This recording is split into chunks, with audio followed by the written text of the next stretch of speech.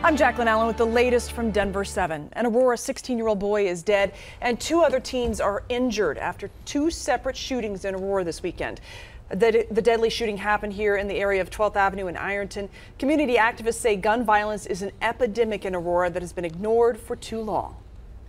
Monday, Douglas County will take its mask debate to court. The school district has sued the new health department over its mask exemption policy. The health department says it creates parental choice. The district says it puts students at risk.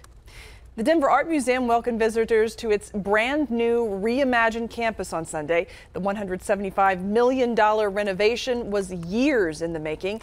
The best time to check it out would be November 6th and 9th when admission is free.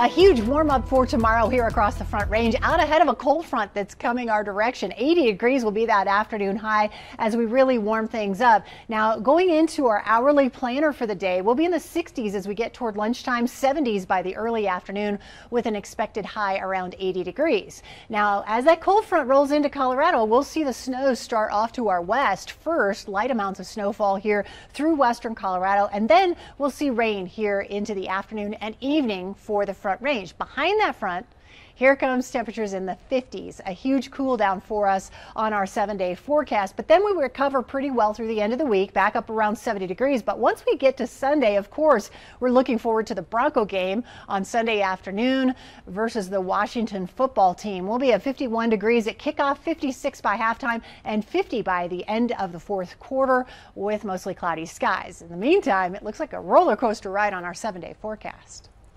All right, thank you, Stacy. This has been your Denver 7 On Demand update. Thank you for joining us. Check back here later tonight for another update. I'm Jacqueline Allen.